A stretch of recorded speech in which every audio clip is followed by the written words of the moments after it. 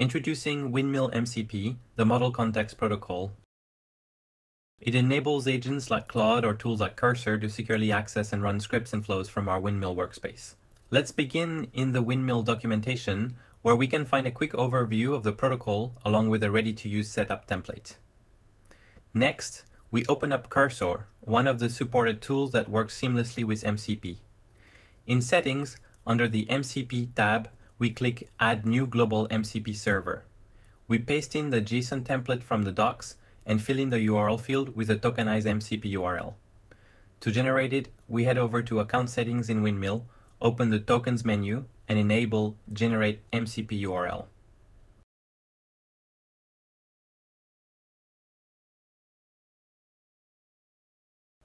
Once we've added the URL, we save, and just like that, our windmill scripts and flows are now visible inside Cursor.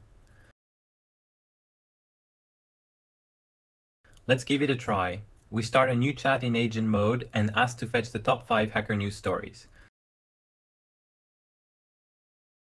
This calls one of the scripts already available in our workspace.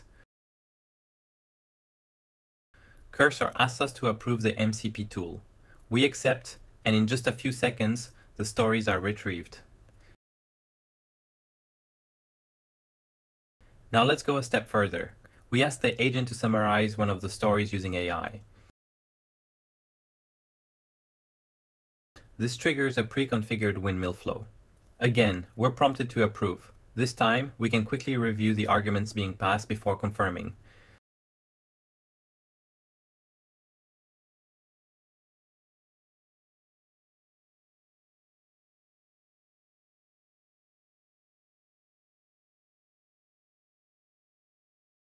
As a final step, we ask to send this summary by email.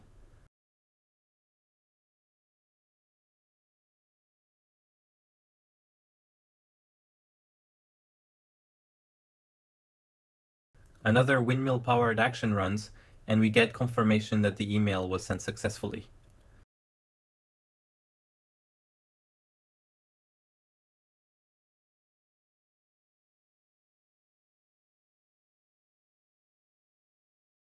Let's head back to Windmill to confirm everything worked. We open the Fetch Agent Stories script, check the History tab, and click on the latest run with label MCP. We can then review all the details, inputs, outputs, logs, everything's there. Of course, we can do the same with the AI summary flow. Every run is tracked, fully transparent, and easy to audit.